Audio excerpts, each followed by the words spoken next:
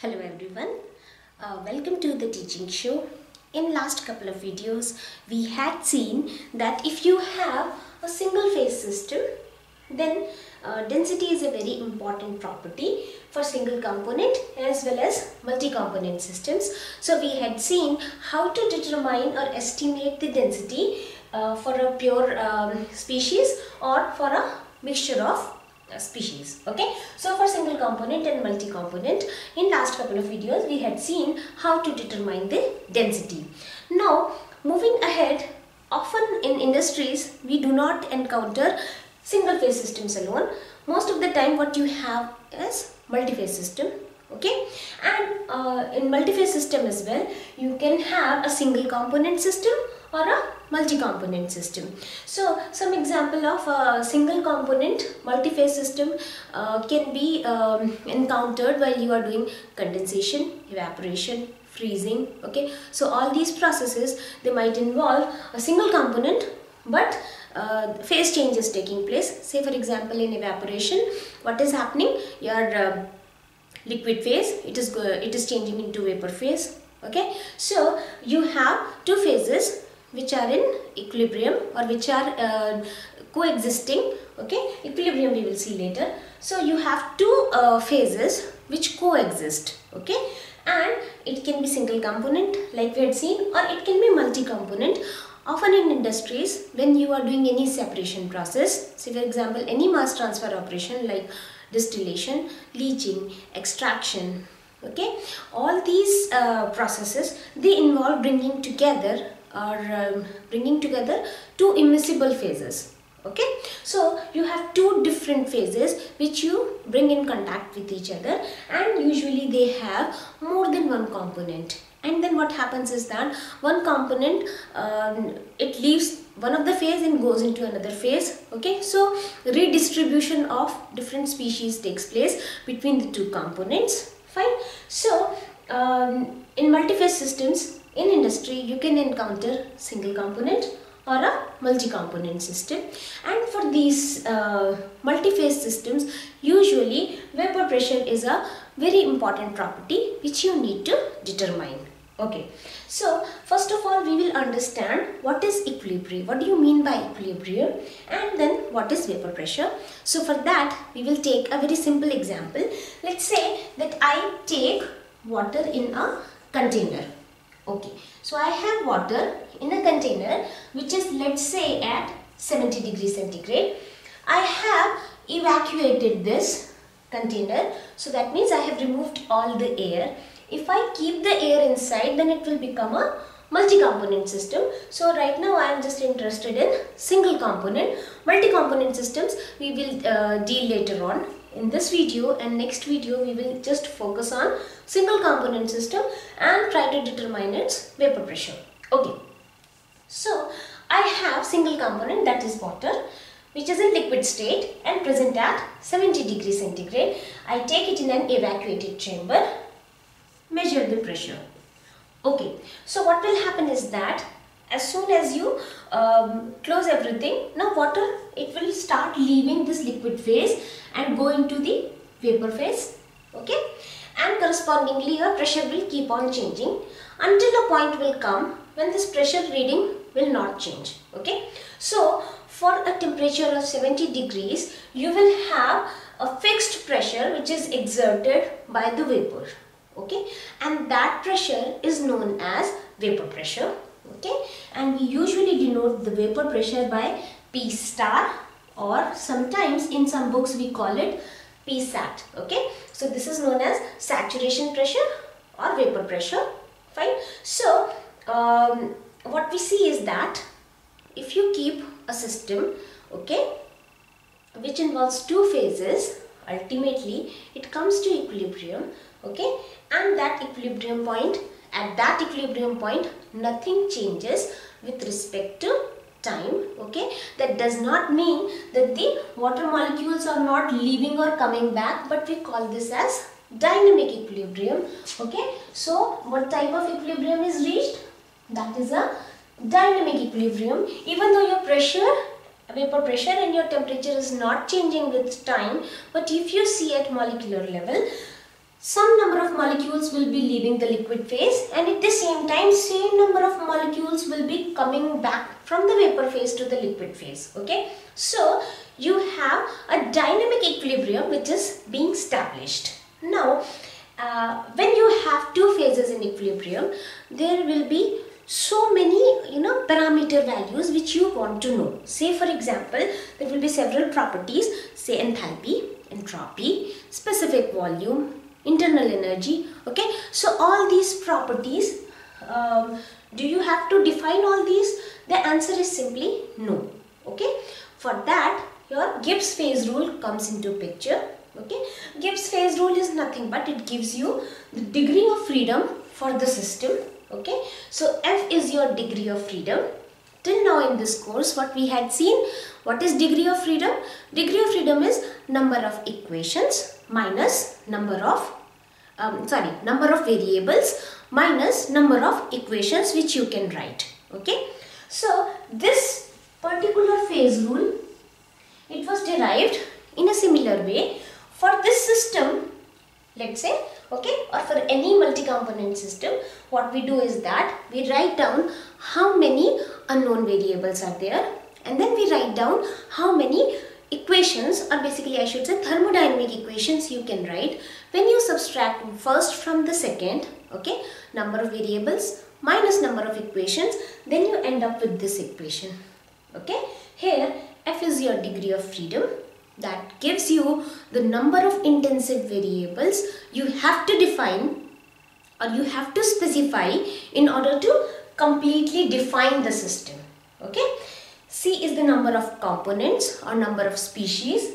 P is the number of phases plus 2. Okay.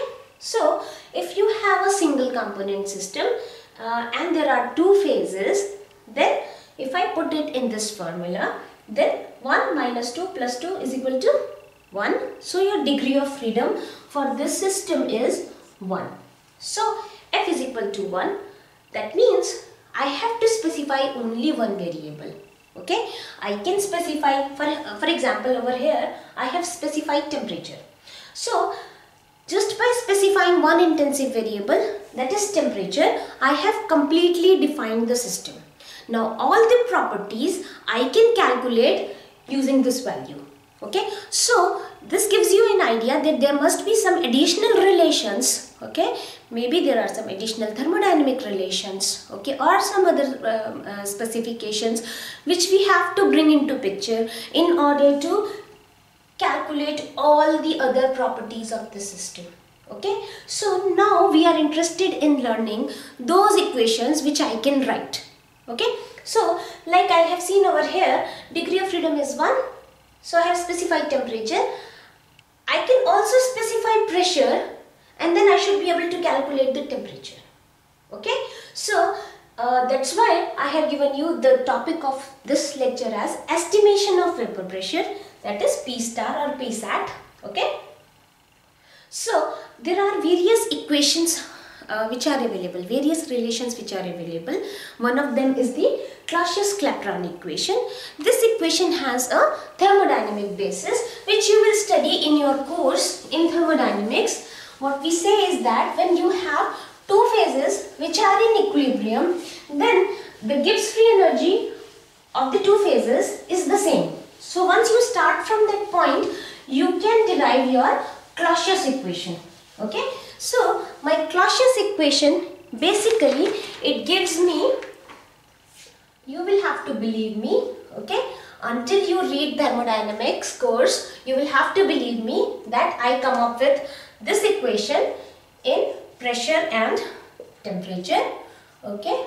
So this is my Clausius equation what I am writing Vg minus VL okay? I will explain the terms. What is P star? Uh, P star is my vapor pressure T is the temperature delta HV is the latent heat of vaporization. What we are talking now is that your uh, liquid and vapor phase in equilibrium with each other. If it is suppose your um, solid and uh, vapor phase in equilibrium then here you will be talking about latent heat of sublimation Okay. So this delta HV value talks about what? The latent heat of let's say vaporization because I am writing it now as gas and liquid phase. Okay. So this is my temperature in absolute Kelvin. Vg is the specific volume of the vapor phase and VL is the specific volume of the liquid phase. So this is your Clausius equation which you can derive from basics in your thermodynamics that you will do in thermodynamics course. Okay. Now I can assume two things over here. First of all, since gas phase will have a specific volume which is much higher than your VL. So I am assuming that Vg is much larger than VL and further I am assuming that my vapor phase it behaves like an ideal gas. So for Vg I can write it down as PV is equal to RT. So RT by P and what is this? This is P star. Okay. So plug this equation over here the ideal gas law and then what do I get is dP star by dt that is equal to delta HV by T square and I think multiplied by R and it should be P star. Okay. So this is the equation which I get. Now I can rearrange this equation. Let's rearrange this equation.